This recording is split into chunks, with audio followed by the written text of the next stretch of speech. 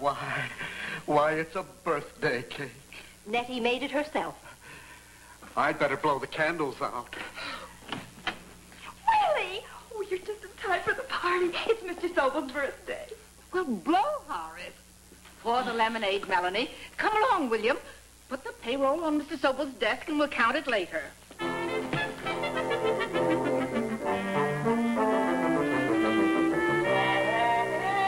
Aren't you going to join us, Miss Patton? Say, Mr. Sobel, what'd you wish when you uh, blew out the candle? Wish? Why, why... Now tell me, let me guess. I bet you wish they'd cut the red tape, give you your inheritance, and then you and I could uh, sort of, you know. A toast to Mr. Sobel. Happy birthday, Mr. Sobel.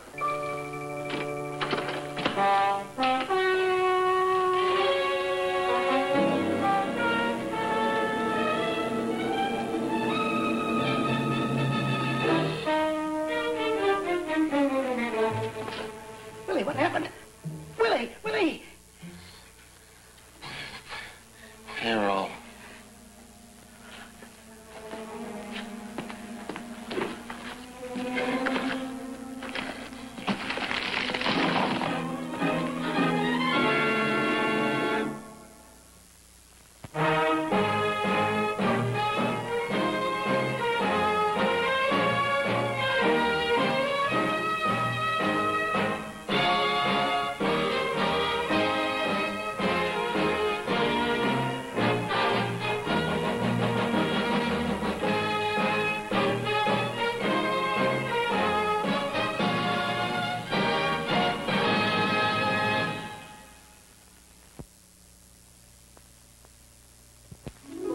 There's a beauty about the morning when it begins quietly, and when it doesn't. Well, young man, it's about time. Well, good morning, JQ. Don't good morning me. I retain you to take care of my interests.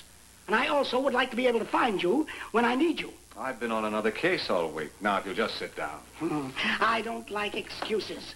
Herbert Maris, my nephew has been stripped of his family dignity, and I won't have it.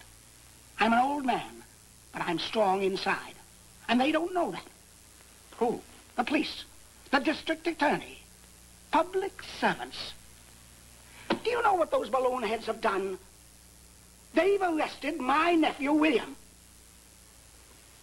Well, why don't you say something? All right, JQ. Most of my clients come into this office seeking advice, but not you. And normally I ignore the insults and try to remember it's all bluff. But this time it's different. I don't know why your nephew's in jail, but you're not going to be able to run your steamroller to the police department, and you might as well know it. You know, I wish my nephew had spunk like you. You never met him, did you? No. I wish you had. Because if you had, you'd know how preposterous this arrest is. If ever I cross swords with this fellow that calls himself Lieutenant Weston again, I'll... You'd see another dimension if you needed his help. I'd see a psychiatrist immediately. I made the error yesterday of asking his help when I found out my payroll had been stolen. Your payroll? And they arrested your nephew? Yes, they arrested my nephew. They thought it was quite plausible to arrest the young man who's going to inherit my entire estate and someday be the president of my company. So naturally, they thought he was the one who tried to poison my entire payroll department so that he could rob me of $10,000. Poisoning the whole department? Certainly. Why, it's ridiculous. I've been waiting for you, Herb.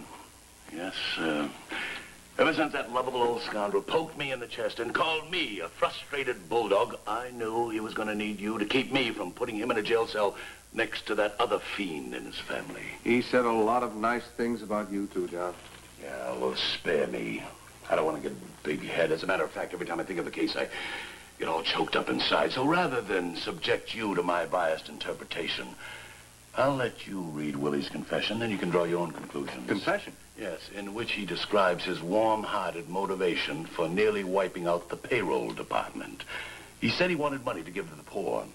What kind of a statement did the others give? Well, you don't give statements when you're unconscious.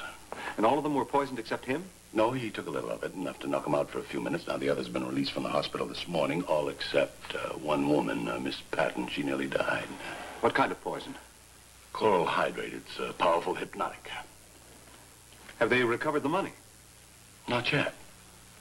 He said he put it in a blind man's cup. Mr. Maris, it's such a simple concept. I don't know why people can't understand it. You give and get joy from knowing that the gift is needed. That's all there is to it. You're happy because someone else is happy. Food for the spirit instead of the stomach. Uh, does, does that make sense to you, Mr. Maris? I think so, Willie. Your soul was hungry, so you fed it. That's very perceptive of you, Mr. Maris. But there's another side to the coin. Everyone needs to give, but not everyone knows how. My uncle never gives anything without expecting something tangible in return. He thinks he's giving, but it's really barter. So you decided to force him into the noble act of giving, and you had no qualms about destroying life to do it. Oh, no. It was an incredibly inhuman act. Which you couldn't possibly have committed. But I did do it. I put the poison in the lemonade in the morning and and... the rocks and the payroll on the way back from the bank. I read the confession, and I don't believe a word of it. But it's true. But I do believe you resent your uncle's domination and his lack of understanding. You'd prefer to remain here in jail than to go back to the company. No. The police won't believe you, Mr. Maris. They told me that I was the only logical suspect. But you accept it as a crutch. It won't do you any good to appeal to my pride, Mr. Maris. I don't have any. But you have compassion. You care for humanity, don't you? Does any man have the right to take another man's life? No. But a potential killer is free to destroy life because of your confession. Is that what you want? No. No, I just want to be left alone. But you're not going to be left alone. You're going to get on your feet and you're going to fight. You're going to fight the police, the district attorney, your uncle, and every other authoritative voice in the world. Do you hear me? What greater treasures than the beauty of a lovely garden and your lady love beside you? Horace, do you think those nice policemen will turn up in this weather? Oh, you know policemen. They'll show. Do you know what I'm going to do first off when I get to Paris, Nettie? Horace, you know, I've been thinking. You better not tell the police about your trip.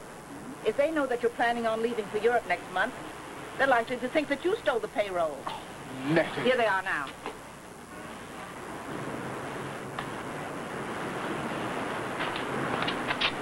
You are from the police. Yes, Lieutenant Weston. This is Mr. Maris, the Bentley boy's attorney. Well, I'm Nettie, and this is Mr. Sobel. This is all quite exciting, having a rendezvous in the park. Rather like one of those uh, European trench coat affairs. Horace? Oh. Where are the others? Well, Melanie's out there thinking. You know, she analyzes dreams. And Miss Patton is... She's our comptometer operator. She hasn't been with us except for a few months. You know, you can't get reliable people anymore. Mr. Sobel had to fix her machine five times this week. She's home recuperating. Well, the poor child nearly died. Well, we all nearly died, Horace. And you all had access to the lemonade. Well, yes, we all had access, but we didn't all know about it. You see, it was Mr. Sobel's birthday.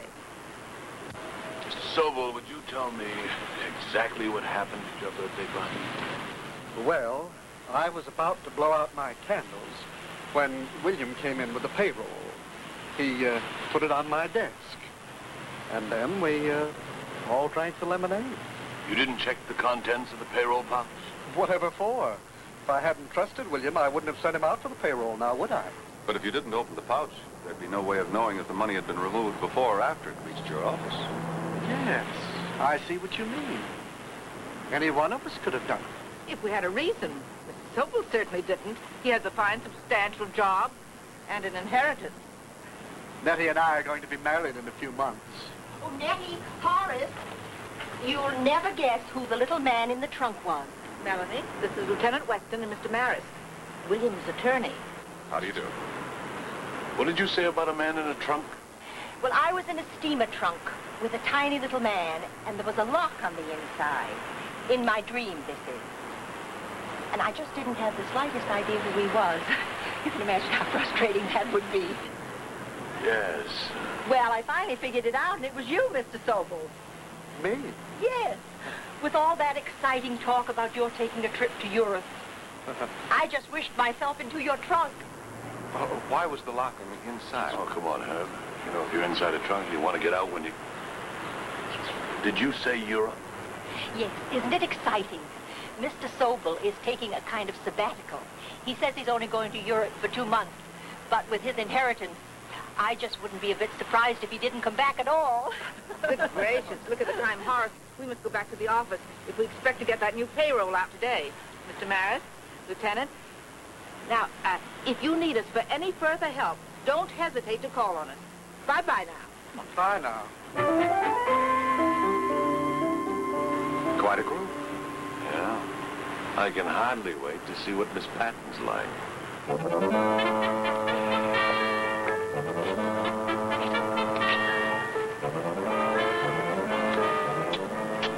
You see, Lieutenant, there's two sides to everything.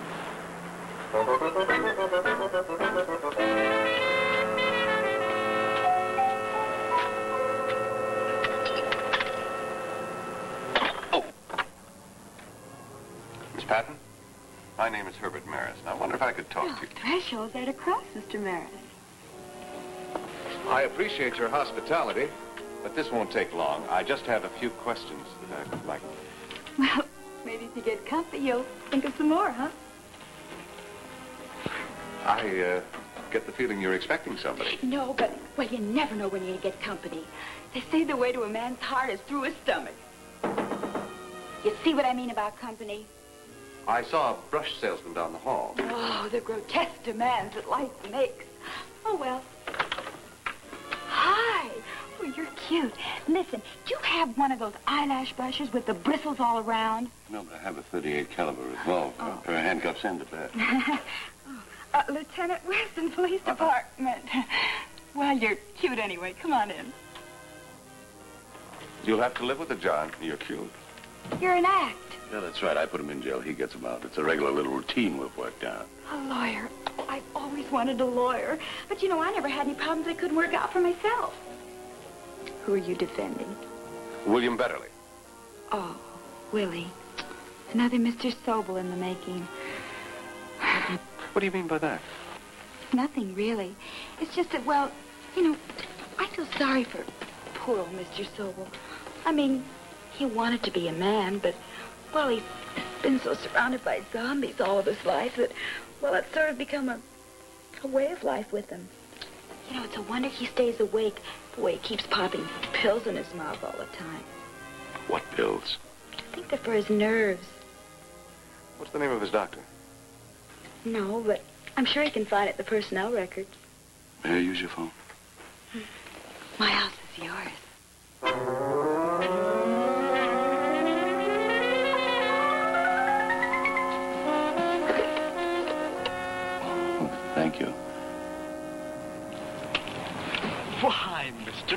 Mr. Maris, Lieutenant. What a coincidence. I live here. It's not just a coincidence, Mr. Sobel. We've been waiting for you. Mr. Sobel, do you recognize this? Why, uh... Well, it looks like a prescription. That's right. Made out to you. Filled in for a hundred capsules of chloral hydrate. Where is it? Why, uh... Well, uh... Oh, here they are. I've only taken a few. I was going to tell you about the prescription, but there, there's such a thing as too much honesty. Nettie says that I'm naive, that I should look after my interests. But you, you don't think I was responsible for the poisoning? That's what we think. But the bottle's almost full. There have been other bottles, Mr. Sobel. Well, I, I didn't need the money. I, I have my inheritance. I checked it. There never was an inheritance, Mr. Sobel. There is no inheritance except in your imagination. I...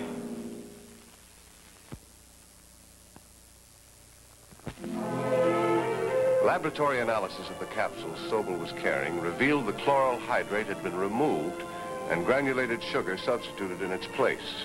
and appeared to confirm his guilt. My client, William Betterly, was freed, and I'd accepted a friend's offer for the use of his hunting lodge over the weekend and invited Lieutenant Weston to join me.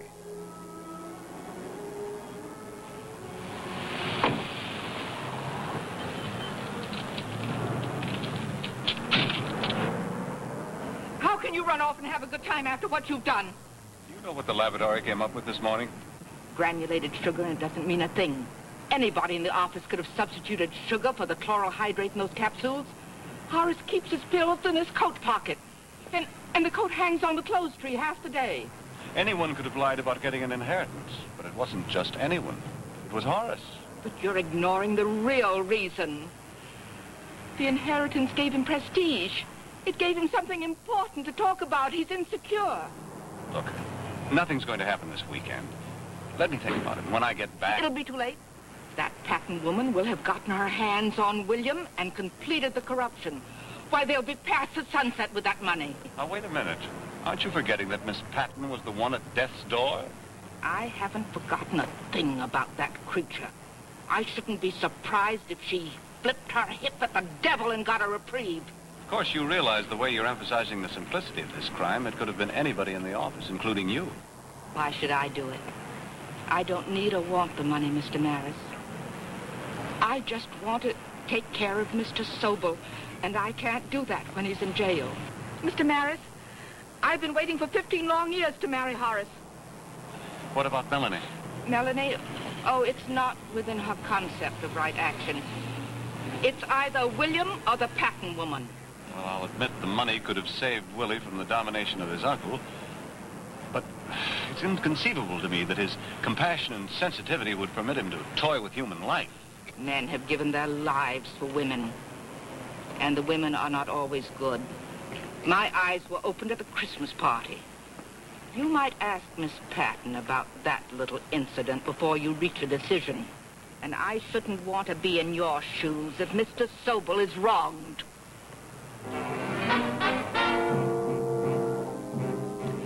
Well, you see, Willie's uncle was out of town. and I wanted to get away from the creeps, so so I asked Willie to show me his uncle's mahogany paneled office. And we were just having a little innocent conversation when When Nettie surprised you. well, she didn't surprise me. But she scared the death out of Willie. so she threatened to tell his uncle, and I decided to play up to her boyfriend just to spite him. They took me home. And that was the incident?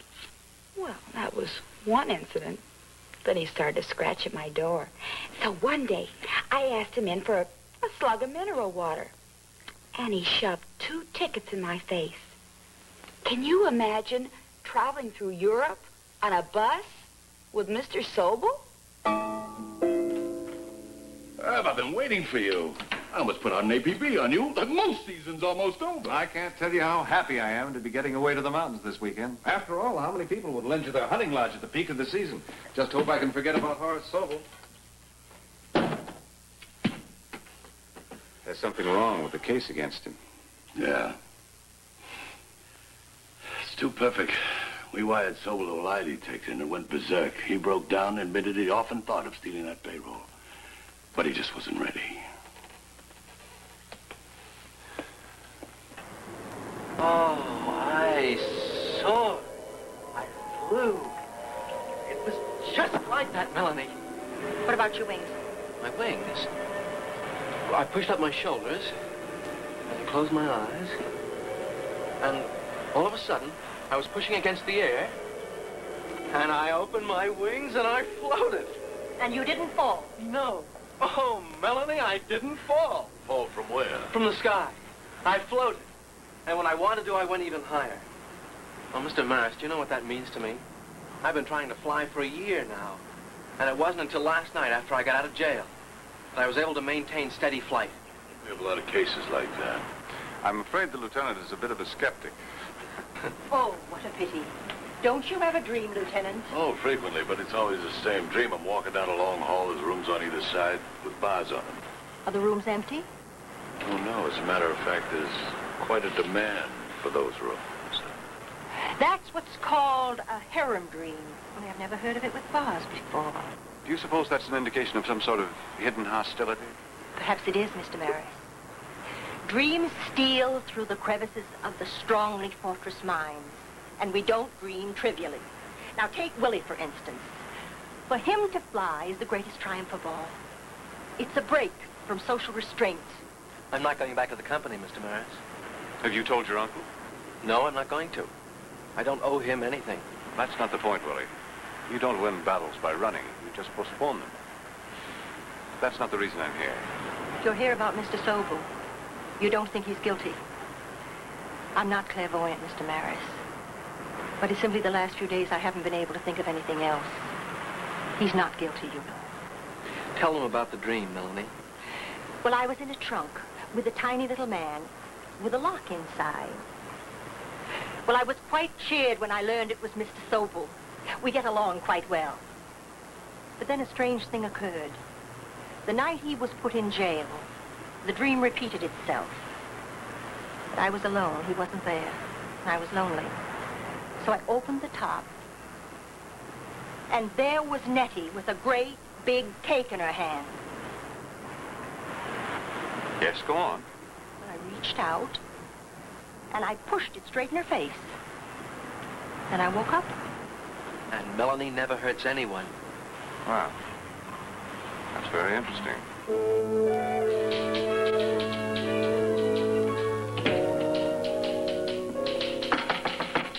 Your attention? Nettie, will you please sit down? I realize I'm jumping the gun just a little bit, and I can't make it official until Mr. Sobel's trial is over. However, in the meantime, William will be the head of our department. And, of course, Nettie will continue as his assistant. Mr. Sobel will not go to trial, Mr. Betterly. That's not my affair, Nettie. I'm simply trying to run a business, and it cannot be run without organization. Not your affair. After 20 years of dedicated service, you're just, you're just going to abandon him? My dear Nettie, I am not responsible for Mr. Sobel's predicament. I am simply his victim. However, I shall give him the courtesy of not making any official statement until his trial is completely over. But in the meantime, William shall be our head supervisor. Willie! Oh, that's wonderful. I'm so proud of you. Willie, I'd like to see you in my private office and uh, bring the account books.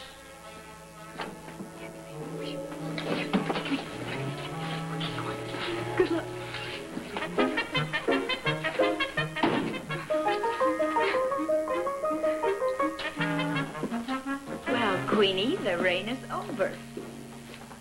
Poor old Mr. Sobel. He worked so hard to get away from you. Pills, inheritances, the uh, trip to Europe. He wasn't coming back. You didn't know that, did you? I can only hope that you will be the prosecution's chief witness, Miss Patton. And we shall prove by the jury who is right.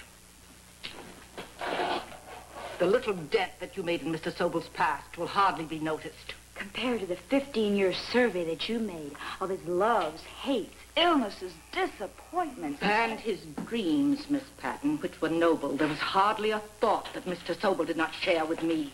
Which is precisely why you are the only person who could have committed the crime as efficiently and successfully as Mr. Sobel might have.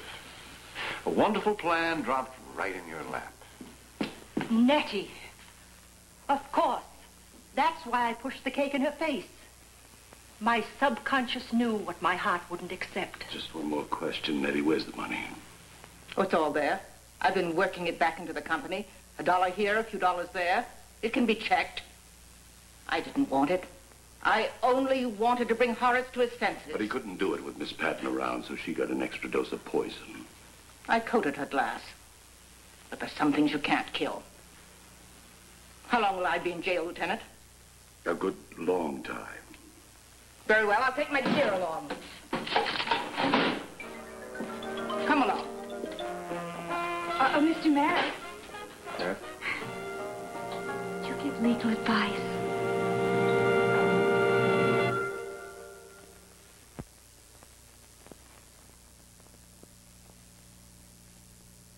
But how can I face them? When they know I thought of doing such an evil thing? I'm so sorry for everything. But how can I convince them? You'll never know unless you open the door, Mr. Sobel.